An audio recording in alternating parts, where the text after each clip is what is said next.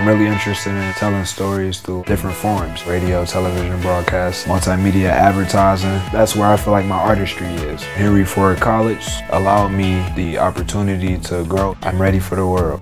I came here with a lot of questions. What attracted me was that I had a lot of different people who could help and that made me feel more comfortable. I definitely dove right in for my first semester. I'm already learning so much, especially from all the people around me.